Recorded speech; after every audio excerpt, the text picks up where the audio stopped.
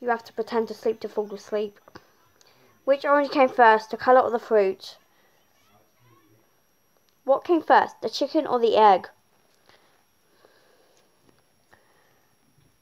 You never know when you sleep, but you know when you wake up. If blind, if deaf people were born, if people were born deaf, then what language were they thinking? When we yawn, do deaf people think we're screaming?